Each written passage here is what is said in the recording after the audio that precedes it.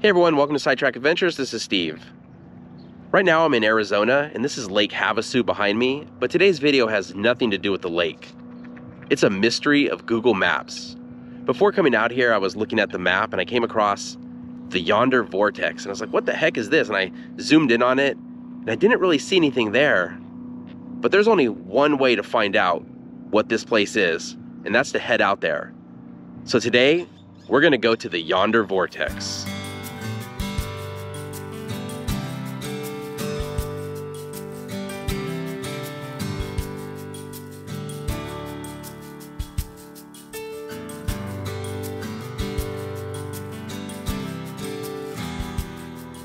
So we've made it to Yonder Park, where apparently the Yonder Vortex is located at. Now, from what I've read online, Yonder Park is not named after any person, but for the view from here, where apparently you could see out yonder, there's not that great of a view from where I'm standing yet. All I see is a bunch of houses, but maybe once we get inside, we'll see a little bit of better view. But let's go take a look and see if we can find the Yonder Vortex. So here's Yonder Park. Let's go find us a vortex. So it looks like we found the first effect of the vortex.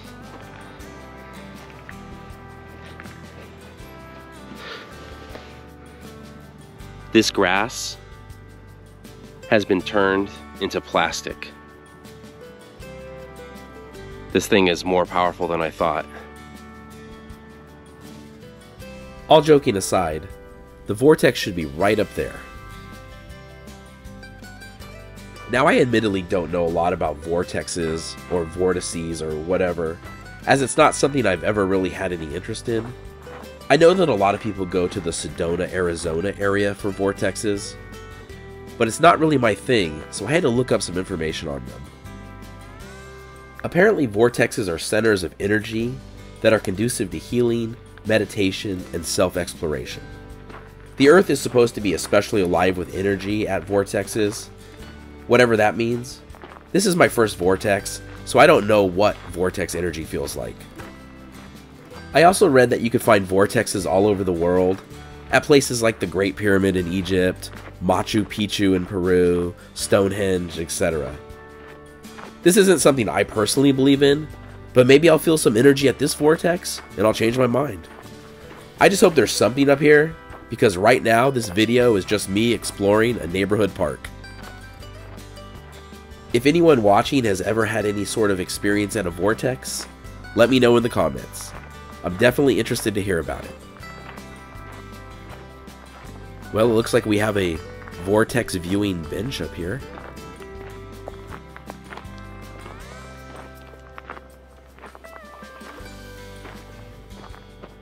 So I've made it up higher, and there actually is a pretty good view from up here. You can definitely see out yonder.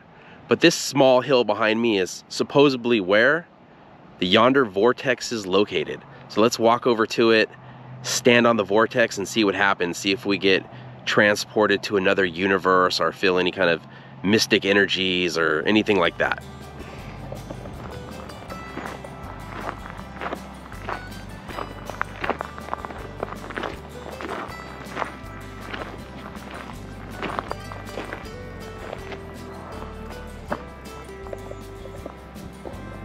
So, I'm on the Yonder Vortex,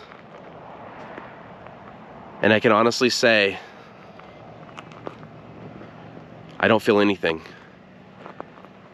I appear to still be in the same universe. I don't feel any kind of energies or anything like that. I don't feel closer to nature. Maybe I'm just not in tune with the world. I'm not sure. But here I am at the Yonder Vortex a mystery of Google Maps, and I would have to say, mystery solved. The Yonder Vortex is a dirt hill in the middle of a small neighborhood playground. I may not be feeling any energies up here, but this is a pretty great view. I don't know, maybe I'm just doing the vortex wrong, but this view was worth the drive.